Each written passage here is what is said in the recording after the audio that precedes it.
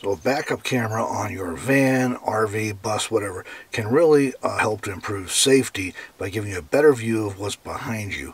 Uh, it also makes it uh, easier potentially to park in certain situations as you can see again exactly what's behind your vehicle as you're moving backwards.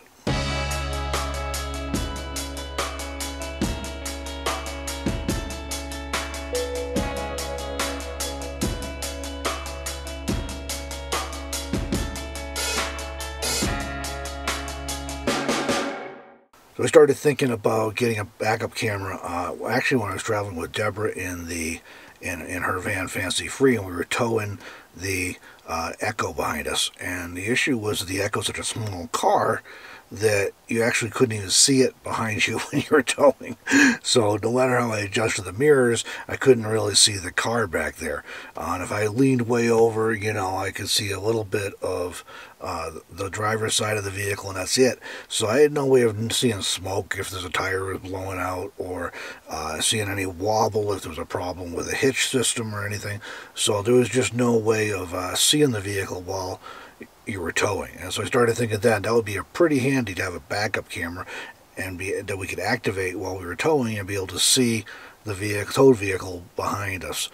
I started thinking about it again when I got this van. Um, it's got really good mirrors. It's easy to back up, uh, but you can only see down the sides. You can't see out the back. And even if I have the back curtains open and everything, you still can't see for about four feet down. And, you know, and I thought about this specifically when I was at my son's house in Wyoming. They live on a cul-de-sac and there's just tons of kids riding and bicycling and riding scooters and running around and playing ball and everything in the street all the time. And it's really a little nerve-wracking backing out of there because you just can't see behind the vehicle. Funny story that I was helping my daughter-in-law shuffle some vehicles and had my uh, four-year-old granddaughter in the back seat of the pickup truck. And as I started backing out I'm checking my mirrors like normal and this vehicle has a backup camera in it and so she points to the dashboard and says look down there pops and so yeah my little co-pilot in the back seat uh, you know like driving's a video game I guess but uh, uh, it, it, it really did help having that extra view straight behind in conjunction with the mirrors. I don't think a backup camera replaces mirrors, but it does uh, give you an adjunct. It's an extra thing that helps to see right behind you and to make sure there's not something uh, disastrous about to happen or that you're not about to back over something you don't want to back over.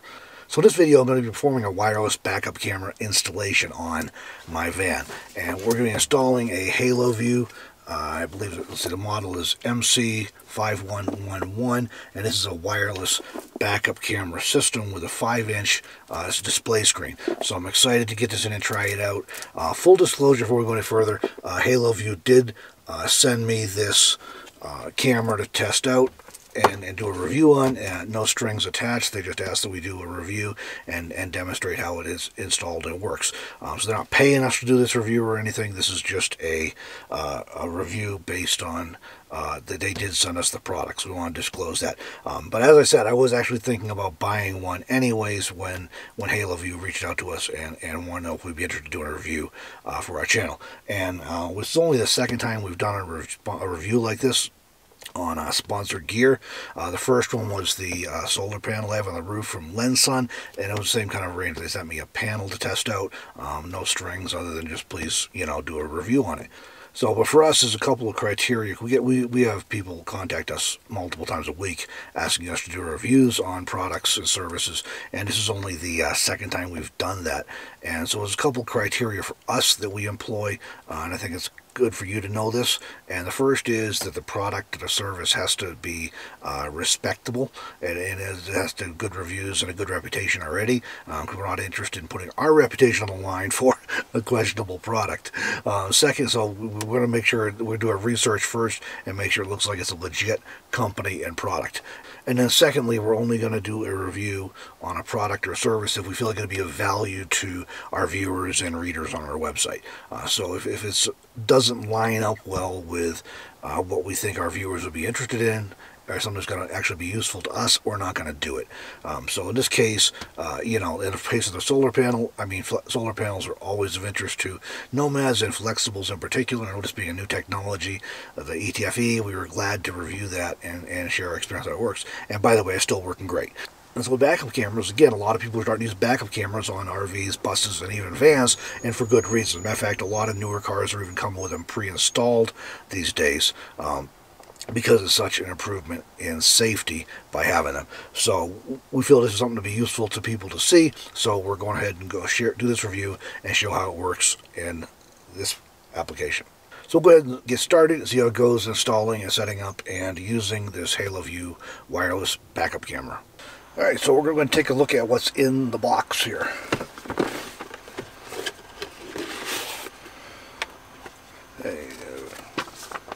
User manual for it um, for the M5111.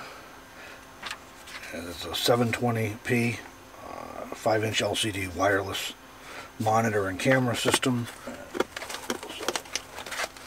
First off, here's the camera itself. It's got a nice solid feel to it uh, and, and, a wire. Uh, it's already installed on a mounting bracket and it's got detents so you can easily adjust it. That, that's nice. So you can, once you got it mounted, you can change the angle a little bit if you need to. Um, that's a nice feature. Um, I kind of figured I'd have to, it would be screw adjusted. Um, there's the antenna port there because it's wireless. And it's, yeah, it's already mounted on the bracket. The bracket's got four holes in it to screw into uh, your vehicle. Okay, here's the monitor system itself. Again, the cord is attached, um, antenna port on the top, and looks like maybe two different mount options on the back here, and some control buttons, and yeah, the brackets on the side here for mounting too, I guess. So we'll get to that in a minute. We pull out the rest of the hardware here. Um, looks like three antennas Okay, this this one's actually to use use it on if you mount it on your license plate, uh, and this one's for the rear view camera if you're mounting it on the roof. And so this one would be for the monitor on the, on the, re the receiver. Okay, th this is a license plate mount. This is really nice uh, because it gives you flexibility if you want to mount it on your license plate. Um, this would attach okay, you'd remove this bracket, looks like, and this would attach right to the base of the camera, and then it has the holes to mount it on your license plate bracket on your vehicle. So that's pretty cool. Um, that gives you flexibility. Here's a, this looks like part of the mount system. Okay, here's the rest of it. Okay. Alright, so here's, looks these, I'm assuming these go together. This is, uh, this is part of the goes around the camera by the looks of it anyway, so we'll get to that. A, a monitor. There's, a, another bracket that you could mount uh, if you to mount the, the monitor in the front of your vehicle. Uh, as you can see, what. Uh, okay, also comes with a suction cup mount. Uh, and that's gives you, you know, you want to stick it on your windshield and not worry about putting screwing holes into your dashboard or something. Uh, that would be good. And then there's some wiring in here cigarette outlet adapter for power. This is nice. I, I don't, um, this is looking like it's going to be simpler than I thought to install this. I was kind of thinking it might be a little more complicated. I was envisioning having to connect wiring into my house system or vehicle system in the back for the camera and then in the front connecting into the vehicle system for when the ignition was on. This has got a, a power adapter, so that's really nice. and a couple more cables here and this one uh, is the power supply a power supply cable for the camera just a positive and a negative. So one of the things that's interesting here is this system will support up to four uh, remote cameras connected to the same monitor. So you can view them at different times or you can have a split screen have two or four displaying uh, at, at, your preference. This wire here is only the two wire. Um, so it may be a different cable you have to get I'm not sure but I do have a 7-wire cable that uh, is available, and that would allow you to connect wires to triggers Um, and they say in their, in their literature that this is the most common setup is just a simple one camera installation. But with a uh, four camera, you could put four cameras on it. I would assume you like on a you might want to do front, rear, and both sides would be my guess of how you might do that. Um, and you could leave them on uh, all four on a split screen, a quad display, or you could push the button on the thing to rotate between them uh, or you can set up the trigger wires so that when you different uh, electrical signals come in it changes the camera view. So for example you could connect uh, you could have one going off the front and you could hit your uh, connect one to your uh, reverse lights then it switch to the rear camera automatically when you put the vehicle in reverse. One of the nice things too with this system I didn't realize till I was just looking at it is it's got a record function. So on the monitor here is a micro SD card slot and so you can actually record uh, all the video feed coming in as well. Um, I don't know how many people use that feature, but it's a nice option to have. You can record in 720p. Uh, um, so that, that's pretty nice. Uh, uh, one way I could see using that as a YouTuber, um, I could record uh, out the back. I'm, I'm, installing this camera on the back for a backup camera primarily for safety reasons, um, as I mentioned before. But this would be nice because let's say if I'm traveling with Deborah and go through a beautiful uh, canyon in the mountains or something, right? And she's behind me, I could kick on the camera and record and actually uh, capture footage without having to go through setting up the GoPro in the back like we would normally do uh, to get a shot like that. So that's kind of fun. But anyway, back to what else in here. It is a bag with some screws and uh, let's see, some more screws and some kind of looks like maybe mounts or something. Uh, we'll have to get that open and get a better look. Can't see through all the plastic exactly what it is, but there we go. Oh, thumb screws, I think. Yeah, thumb screws for the for the um, for this mount probably. all right, so I'll finish reading the directions and figure out. Uh, yeah, it does come with screws to mount everything, so that's nice. So it's pretty much everything, you know, it looks like everything you need is right here. Um, ready to go. One thing that I was just noticing though that's real nice too is that this, uh, if you're using the suction cup mount, it's going to just screw into the back here and you mount it on your windshield. Uh, but this looks like a standard quarter 20 uh, thread. So it's the same as is used on most or, much of uh, camera gear. There's two different sizes they use in camera gear, but quarter 20 is a very popular one. So if you, it, for most people, I think probably one of these two is going to work fine, the windshield mount or this bracket here. But if for some reason you wanted to do something different, uh, that's just a quarter 20 mount. So you're going to have a lot of options out there for hardware you could use to mount this thing. So that's pretty cool. Uh, there's going to be a lot of flexibility Okay, just over the user manual real quick. Uh, pretty basic, simple. Uh, looks like a very simple installation. I'm actually very pleased with how uh, simple everything is and how uh, uh, they got everything included that you need.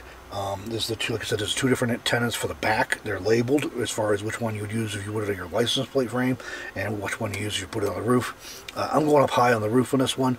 Right now I'm just traveling with just the van, but I can't rule out in the future potentially getting a hitch haul or a small trailer or something. So in order to future-proof against any of that, I'll just go ahead and go up high on the roof. That'll give me a good view of everything behind me anyway.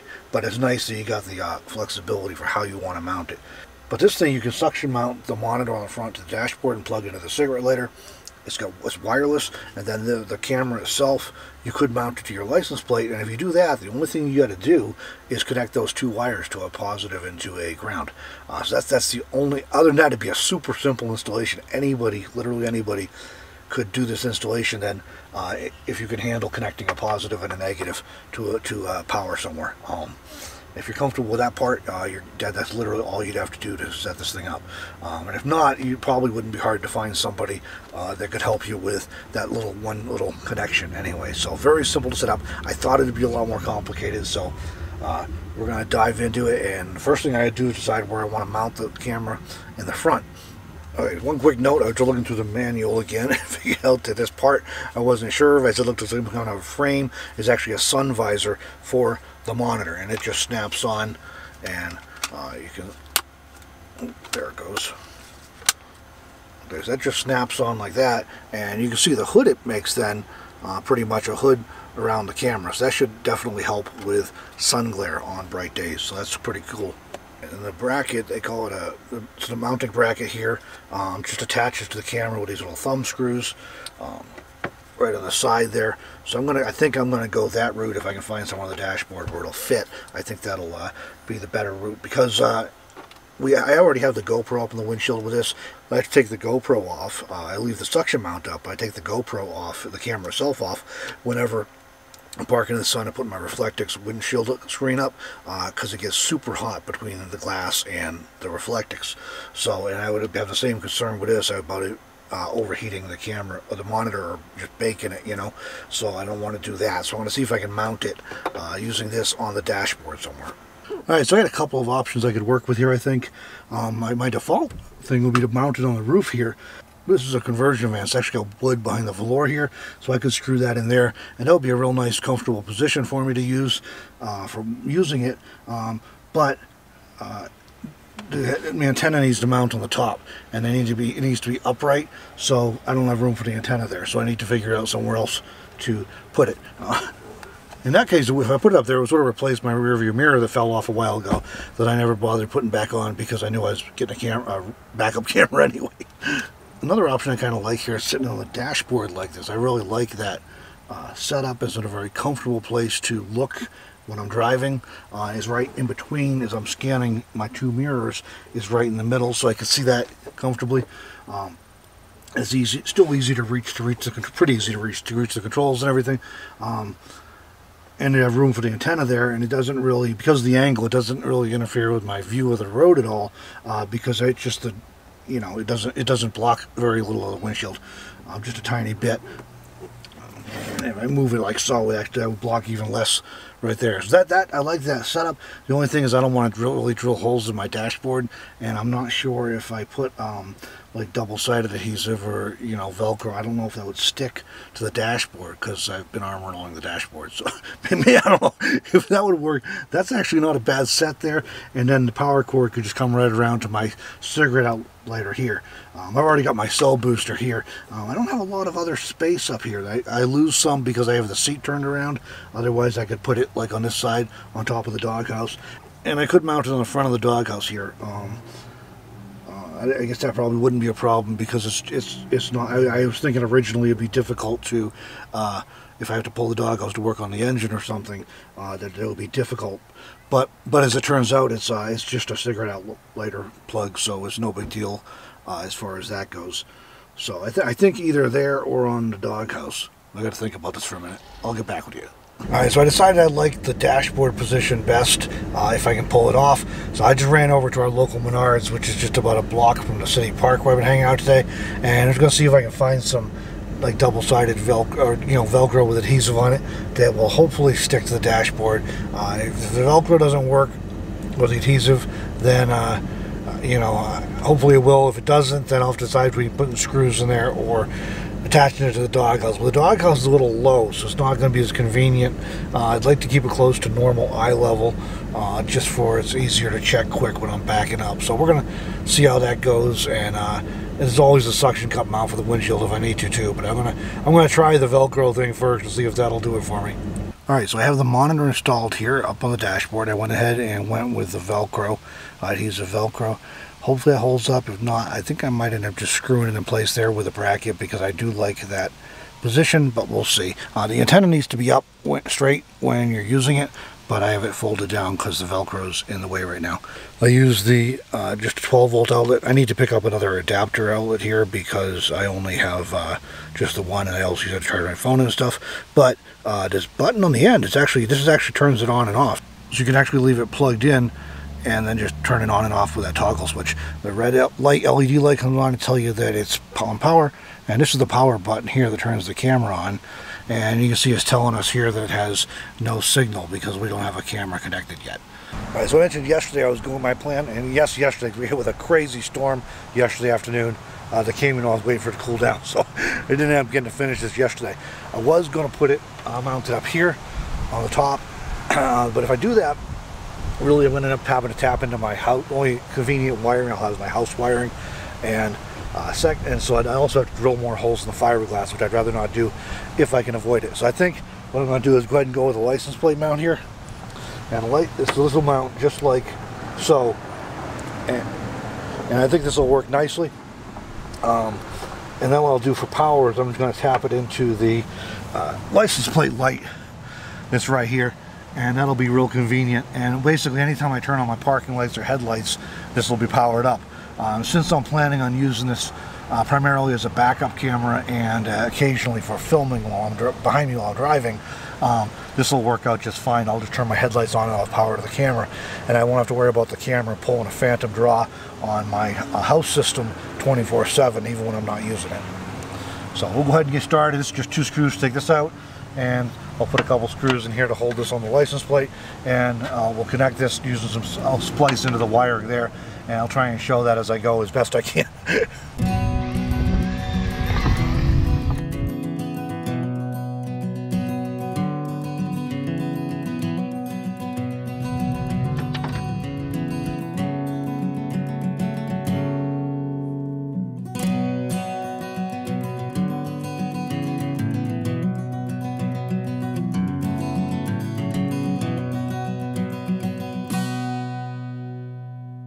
So I got everything installed here. Uh, super simple installation. Um, this was really a piece of cake. Uh, I just drilled a small hole here, up here, and ran the wire up in, patched into the wire for the um, light up above using some butt splice connectors. Very simple installation. That's the hardest part of the whole install right here. Is just finding somewhere to connect the wiring, and that was you know very simple. If, you got, if you've done any uh, uh, very basic uh, wiring skills, just be able to crimp, cut and crimp a couple wires, you're you're totally all set. Uh, so we're going to turn it on and see how it works. Alright, so pairing is supposed to be super simple uh, with this. There's a couple different ways you can do it. There's a monitor on here with no signal yet, so we turn on the lights here. That should provide power to the camera. Oh, there it is.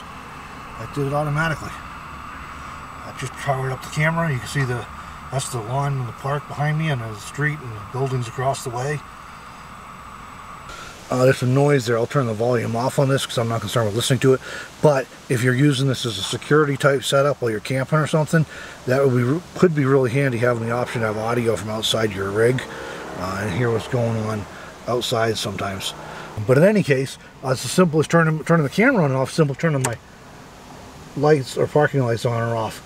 So I just turned the parking lights off and the camera goes out. So anytime I want to use the camera, I just have to pull on my parking lights or headlights. And I do have a dinger in here that reminds me so I don't forget them on anyways.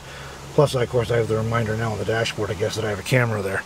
Okay, so I got this thing all set up. This is so simple. Um, I, and I, I, know I've said that a couple times, but I really expected this to be a lot more complicated. I, I, I just assumed I'd have to hunt for uh, uh, ignition-specific wiring on the front end to uh, use the camera I took up the front monitor and I'd have to hook the back one into wiring in the back and it was just very simple. Um, the front one literally just plugs into the cigarette lighter like I showed you and has a button on it you turn it off on and off. The back camera is, is as simple as just connecting two wires, a positive and a negative. You can connect them to anything you want. I would not connect them to um, something that's constantly hot on your vehicle electrical system. She may drain your battery eventually. I don't know how much power the camera pulls. It's not much, I'm sure, but over the course of the very tiny wires, like 22 or 24 gauge wires, but over the course of, uh, you know, multiple days, you might drain your battery down. You can connect into your house system, and I did think about doing that, and I probably would have done that if I'd gone up high. And then you'd have a 24 hour power on the camera, so anytime you turned on your ignition here, you'd automatically have power up front um, to the camera monitor but uh, again it's going to pull some phantom power over the course of, of days. I don't park for a week. I don't necessarily want to be burning up however many amps of uh, power when it's in a limited supply. But by tapping into the license plate light and you can do the same with a parking light line or anything um, I just figured the license plate was pretty safe. It's going there anyways. It's right close and this little, you know, if the license, if the, one of those wires comes loose, um, I'm not going to have a tail light out or anything. I'll have a license plate light out, which is, you know, and it's pretty easy to get to. It was just two screws for me to pop that back door cover off to access everything. So um, I'm going to go put the back door cover back on. Speaking of that, but I'm very impressed with how easy this is to install. So far, the adhesive Velcro is working on the dashboard. I may move that in the future if it's a, uh, you know, if it's a problem with staying there, I may screw it down. I like the position of it though. Um, I am going to pick up a micro SD card so I can play around recording on this, so I'll, uh, I'll provide some updates on that in the future uh, when I get a chance to actually do that. Um, but so the nice thing about this right now is it's, it's I got a real-time five inch display of what's going on behind me, not just when I'm backing up. And I could have tapped that in, by the way, if I only wanted the feed when I was uh, in reverse, I could put tapped it into the reverse lights. Um, but I, I, I like having that all the time I'm driving, so I don't have to worry about it. It's just on. I can see what's going on behind me. And like I said, as a YouTube creator, there may be times, there probably won't be like a lot, but there may be times I want to get a shot of something behind me, and I'll be able to do that using the record function, which I'm going to try out real soon, uh, as soon as I pick up a card. Got to get to the store again. Very excited with how simple this thing was to set up, and, and I'm impressed with the quality of what I'm seeing so far. And I really like the bright display. It's super bright, um, nice to look at, easy to see. Uh, I like that they send a lens hood around it. So pretty happy with it and uh, you know I, I, definitely so far can recommend this if you're looking for a camera I like how easy this was to install and and I like the quality of what I've seen so far and the prices seem pretty reasonable for what you're getting and everything that you need to install this thing was included except for those couple little uh, splice connectors I used and you may need something different depending on how you choose to install it but they were like two bucks for a package of them at Walmart so they're not expensive. Uh, very very cheap option there if you go the route uh, that I did.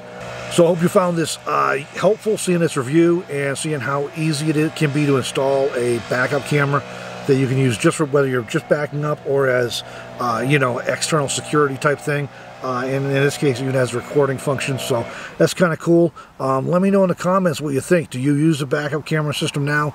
Uh, does it have these same features or do you think a backup camera might be something that would be useful to you uh, in your travels? So let me know what you think there and, uh, in the comments and thanks for watching everybody. We'll see you down the road